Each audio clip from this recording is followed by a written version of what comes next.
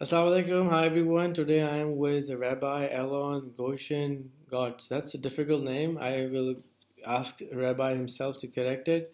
Uh, Rabbi, is that how I say your name, or did I mess it up? It's Alon Goshen Gottstein. Gottstein means the stone of God. So it's strong foundations that we're trying to put in place for the world, for divinity. Stone of God. Interesting. Amazing. Uh, Rabbi, you work in, you have started an organization called Elijah Interfaith Organization. Well, who's Elijah? Elijah Interfaith Institute. Elijah is the biblical prophet. And, uh, you know, some people very often ask me, occasionally people ask me, why Elijah? After all, he was very intolerant of idol worshippers, but he sort of underwent a metamorphosis. In later rabbinic thought, he's someone who unites differences and he ushers the way for a messianic future. And Elijah, for me, is a figure. We're all working to prepare for a better world, and and in my own internal world, uh, Elijah is a symbol for that. Also in the Christianity, he's also known in, in Islam as Al Khidr, and he's not known in other faiths. But you know, when you call a baby, the parent has a privilege of calling a baby. Cool. Naming a baby.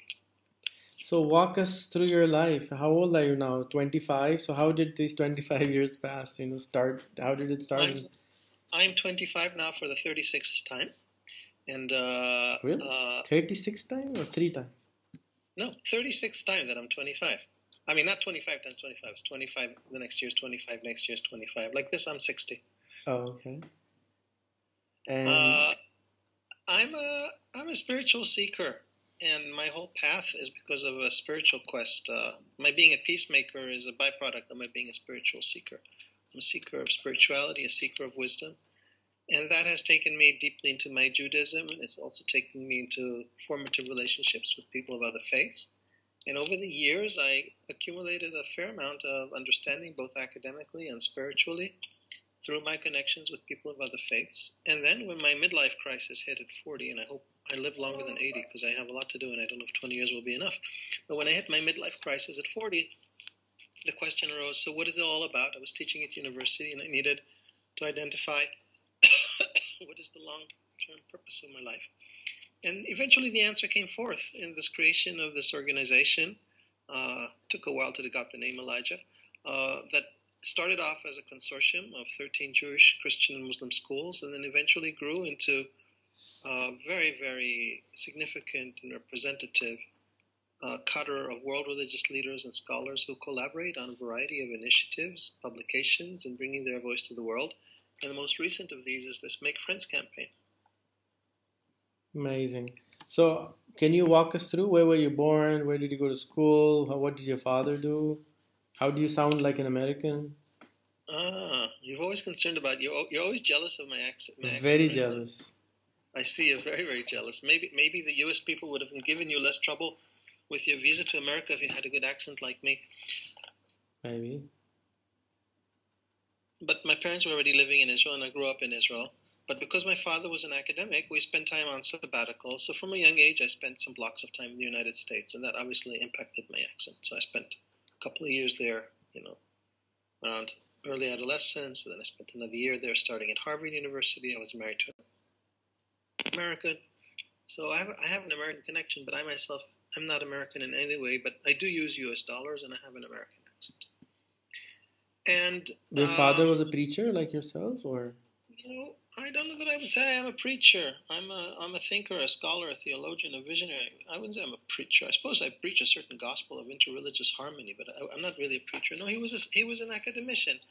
He taught at university, and we had people from different religions uh, come into our home because you know because he worked on the Bible. People from different traditions came to study uh, to study with him, and that's how that's how we got those relationships. And you, um, when you say you're a rabbi, I thought that was a, in in Islam we normally call it a preacher. So is rabbi not a preacher? Rabbi is someone who's proven himself in a certain capacity of learning and therefore has authority to teach. Uh, then next step is what you do with it. For a while, I was a chaplain in the army, so that was that was a capacity to preach. Most rabbis have synagogues. I don't because I chose an academic career. But eventually, when last 20 years, I've been more and more of a rabbi just because of my interfaith work, where religious affiliation is important. So being rabbi in some ways more helpful than being doctor or professor. Now, um, you have started this campaign called Make Friends campaign, and your video is amazing, and it's it is there, and it is asking, it is spoken by different religious leaders of different religion, asking people of other religions to make friends with people of other religion. Now, the history uh, in journal tells us something else, or maybe the media or the parents or the culture tells us um, that we are not supposed to be friends with the friends of, or I mean, the followers of other religions. How can this doctrine? How did this doctrine just change? What happened? So um, this is a complex question. Historically, we do have precedents of friendship, we, but we don't have a history of teaching friendship as an ideal between religions. So, what's happening is that world religious leaders and thinkers are realizing we need to move beyond civility and respect. And we and we have identified friendship as an important way to go forward. And as we presented it to leaders, we could see they, they, they resonated with it. They really felt that this was an important way to suggest to humanity for its future. Until now, most of the emphasis on friendship has been within, you know, Muslims are friends with Muslims, as long as they're the same denomination. These days, there's great struggles going on in Israel between different groups. So you're only friends with one group, not with the other group. And this is a call for a kind of universal friendship, a friendship that rises beyond the particularities of the group. What makes it possible is that within all our traditions, we have the resources. We have to choose to apply them we have the resources for a united humanity, an interconnected being, uh, all of creation being one. The resources are there. You need the combination of will to address these and recognition that the moment is right to give that teaching. And thank God there are enough leading religious leaders in the world that have that perspective and are willing to do that. Now, you are a Jew, you're a Jewish, and um, I'm both. I'm both a Jew and Jewish both a Jew and a Jewish. Um, in, normally, Judaism and people of the Jewish faith, which I found, were self-contained, meaning they don't need to reach out. You you grow at a certain size, and you don't need to reach out to a certain other denomination. Is there some religious context to it that it is it, in the past it was not promoted, or in Judaism, are Muslims and Christians seen as enemies somehow? And is it changing? It's all a matter of historical context. And sometimes they were friends, sometimes they were enemy. Jews were persecuted for such a long time that it's deeply in their cult, in their psyche, that everyone is their enemy. It's all a matter of the context and how you apply that context to historically to, to whatever are the relevant consequences. So uh, Jews ideally have a teaching of friendship. On the other hand, they have a need to affirm their identity, and they have been persecuted now, you know, certainly under Christianity, but also significantly under Islam. And even today, you look at the hatred towards Jews that's being generated both towards Jews and towards Israel. So it's understandable that they, many of them are, are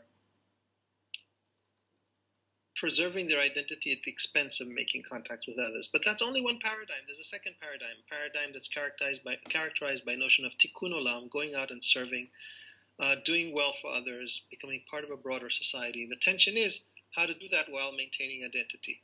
But the the ultimate goal is to be able to uphold both of these, both the both the sense of true and profound identity and a sense of friendship And I think it's a sign of the times that this teaching is coming into place.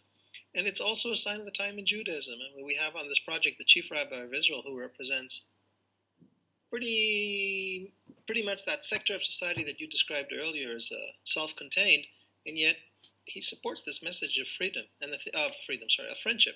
And I think it's because he recognizes from where he's sitting that that's what we need for the world to be a better place and for all of us to grow together.